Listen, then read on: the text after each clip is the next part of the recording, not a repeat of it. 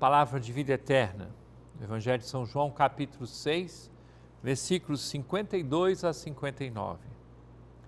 Naquele tempo, os judeus discutiam entre si, dizendo: Como é que ele pode dar a sua carne a comer?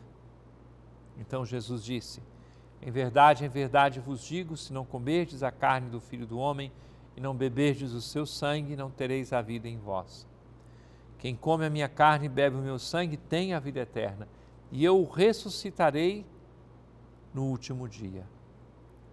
Porque a minha carne é verdadeira comida e meu sangue verdadeira bebida. Quem come a minha carne e bebe o meu sangue, permanece em mim e eu nele.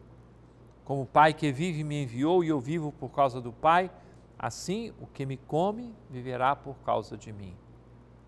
Este é o pão que desceu do céu.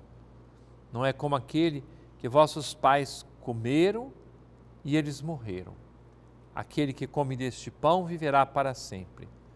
Assim falou Jesus ensinando na sinagoga em Cafarnaum. Querido irmão, querida irmã, esta é a fé que a igreja professa.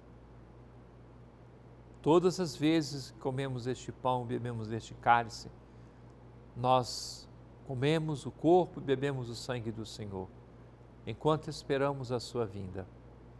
O coração da igreja é a Eucaristia. E ali, a semente de vida eterna que é plantada por Deus na humanidade nos alimenta. Somos sustentados por essa presença verdadeira de Jesus, que é o pão da vida eterna. Queremos renovar a nossa fé, queremos responder com toda a fidelidade ao Senhor e queremos ser fiéis e assíduos a participação na Eucaristia.